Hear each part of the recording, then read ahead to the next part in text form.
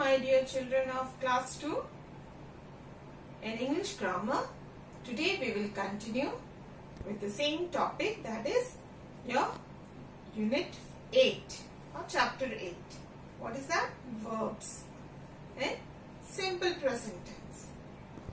So we are going to do the written work from your English grammar book. So kindly take out your English grammar book to page 32. Page 32 we are going to do the written work. Fine? Let's begin. Now class 2 you will take out your English grammar book page number 32. So we have already started with what? Verbs in simple present tense. Okay, in the simple present form verbs, right? So today we are going to solve this. Number 3. Look at the pictures about Arjun's day and complete the sentences using the correct form of the verbs given in brackets. So here you see we are talking about Arjun, what he does daily. Okay? What time he gets up and then after getting up from the bed, uh, what he does next. Okay, so there, this is the whole routine of Arjun. So, simple present is what actually what happens on a regular basis. What happens always. Fine. And you know where to add s and where there is no s to the verb. Right? Let's read this.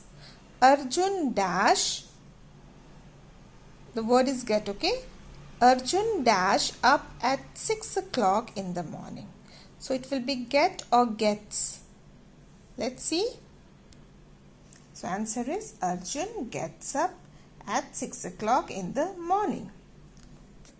B. He dash his teeth and the word is brush. Verb will be what in simple present? Brush will be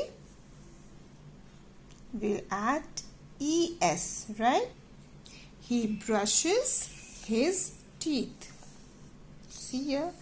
C. Then he dash a bath then he dash a bath. That means what? Take. The verb is take. He. So what will be that verb? Shall we add s or not? Yes, we will add. Then he takes a bath. Right? See here. Next. D. Before going to school, Arjun dash breakfast. Arjun, one person. Verb will be Arjun eats breakfast. E. Arjun dashed to school at 8 o'clock.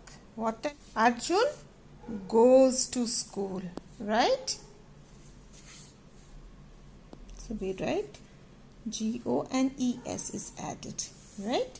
Arjun goes to school at 8 o'clock. F. In the evening, Arjun dash with his friends.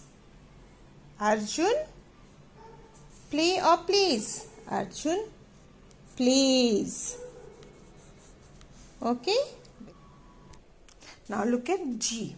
At night, he dash dinner with his family. He, okay? One person and verb is eat. So it will be eat or eats. He eats. Okay. He eats dinner with his family. Now H. He dashed to bed at 8 o'clock. He goes. Okay, so we write here G O E S.